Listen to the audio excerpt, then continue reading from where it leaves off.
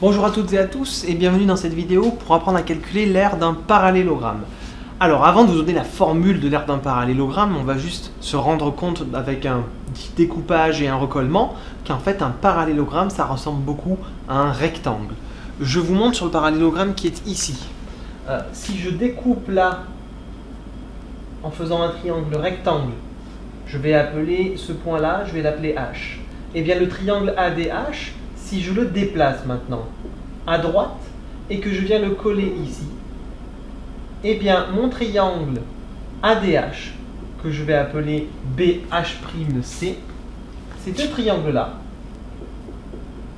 ils ont la même aire. Ils ont la même aire de sorte que, en fait, l'aire du parallélogramme rose corresponde à l'aire du, du, rectangle AH, H'B. Et donc l'aire du rectangle AH, H'B, eh bien c'est longueur fois largeur, tout simplement. La longueur étant 4,8 cm et la largeur étant en fait ce qu'on appelle la hauteur du parallélogramme, 3 cm qui est ici. Et donc maintenant on peut avoir l'aire, la formule de l'aire d'un parallélogramme. Je vais l'écrire au tableau ici. L'aire d'un parallélogramme, c'est le côté de parallélogramme, le côté du parallélogramme,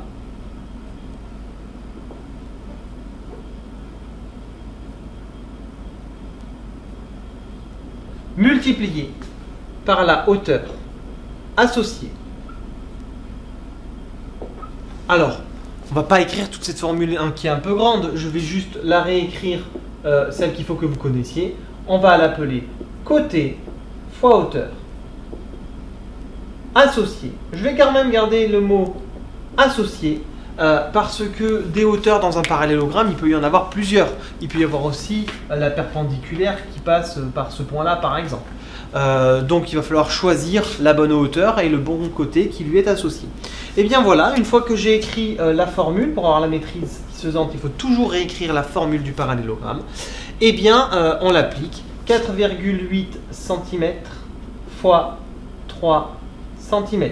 Ce qui va nous donner alors 4,8 fois 3, euh, il y a plusieurs façons de faire ça de tête. 4,8 fois 2, euh, on fait 5 fois 2, 10.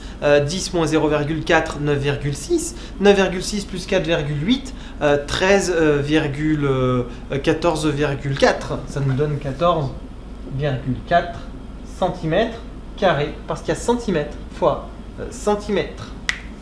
Il y a une autre façon de faire, 3 x 4, 12, et 3 x 8, 24.